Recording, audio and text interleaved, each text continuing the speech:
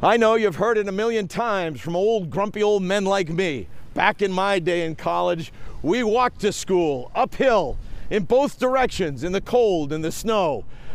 But here at Northeastern, there's something you don't need. You don't need these. You don't need this.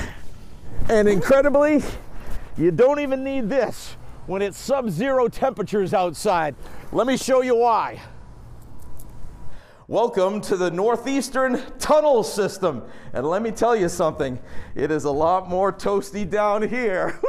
We're right here. We're right here. Mark Bolter is Senior Director of Building Services at Northeastern. It all got started right here at Richards Hall. This is the first building that we built on our main campus. Since 1938, as the campus grew, so did the 16,705 square feet of underground tunnels.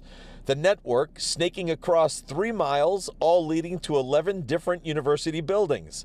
All the while, students in university operations never needing to head outside. We try to limit the amount of vehicular traffic to make it safe for our community up above, and we try to service all these core buildings through the tunnel system. From lecture halls to lockers and bookstores to a place to grab a bite, for these Huskies, staying warm, dry, and comfortable is a pretty nice way to escape the brutal blast of a so called spring semester. What's it like having this tunnel system to get around? Oh, it's been great. Yeah, it's as, especially since all of my classes are just around here.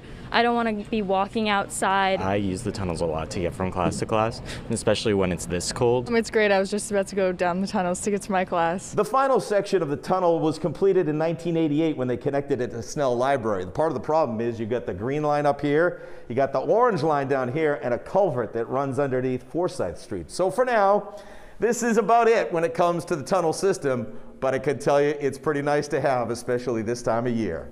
At Northeastern University, I'm Doug Meehan, WCVB News Center.